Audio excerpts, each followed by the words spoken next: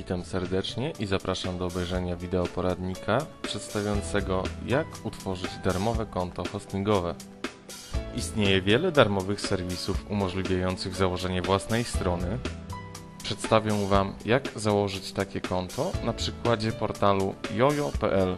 W tym celu uruchamiamy przeglądarkę internetową i wchodzimy na stronę jojo.pl, a następnie klikamy link rejestracja. Po załadowaniu się formularza rejestracyjnego wpisujemy dane.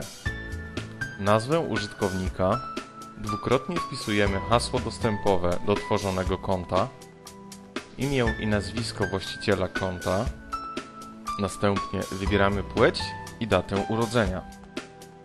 W kolejnym kroku wpisujemy dwukrotnie nasz adres e-mail, na który przyjdzie link aktywacyjny. Kolejnym kroku akceptujemy regulamin, jeśli zgadzamy się na jego warunki oraz przepisujemy kod z obrazka i klikamy przycisk Rejestruj.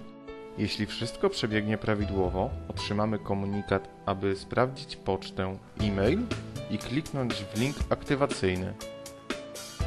Po wykonaniu tej czynności nasze konto będzie już w pełni aktywne oraz będziemy mogli przejść do panelu administracyjnego. Aby dodać nową witrynę, z menu bocznego wybieramy opcję Twoje strony, a następnie klikamy w link Załóż stronę. Naszym oczom ukaże się formularz konfiguracyjny nowo dodawanej witryny. Zawiera on pola takie jak nazwa witryny, domena oraz adres strony. Musimy także ustanowić hasło dostępowe do konta FTP oraz bazy danych MySQL. Na koniec przepisujemy kod z obrazka oraz klikamy przycisk Utwórz. Po wykonaniu tych czynności naszym oczom ukaże się ekran końcowy, w którym wylistowane będą wszystkie dane dostępowe do naszego konta. Znajdują się tam m.in. dane do serwera FTP, dzięki którym możemy wgrywać pliki na nasze konto hostingowe. W celu weryfikacji spróbujmy zalogować się do konta FTP. W tym celu uruchamiamy dowolnego klienta FTP, w moim przypadku będzie to Total Commander.